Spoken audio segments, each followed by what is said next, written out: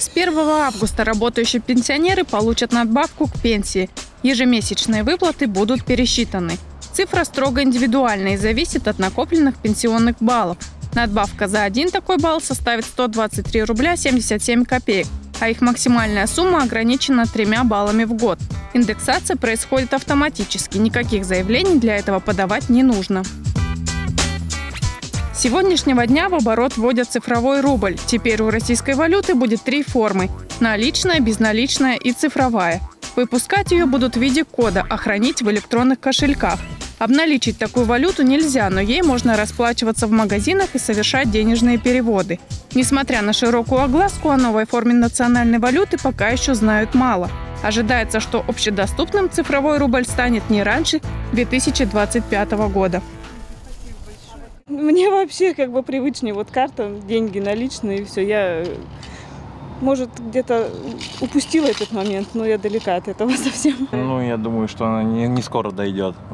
Как бы люди, как сказать-то правильнее, будут не доверять этому изначально первое время. Ну, я думаю, что это ну, какая-то, ну, какая-то очередная разводка, так же, как с этими биткоинами там и все такое. То есть недоверие испытываете? Конечно, конечно. Ну, технологии развиваются, поэтому почему бы и нет. Конечно, в России сложно к чему-то привыкать к новому. Ну, я думаю, к этому привыкнем. Привыкли же вот в автобусах по картам рассчитываться. Я думаю, и здесь привыкнем.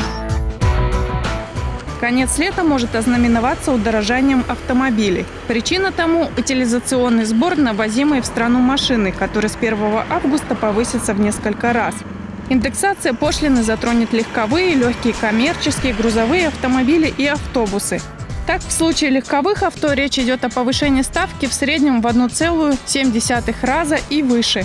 Впрочем, изменения больше касаются тех, кто вводит в страну автомобили для дальнейшей перепродажи. Те же, кто пригоняет авто для себя, продолжат уплачивать утилизационный сбор по льготному тарифу.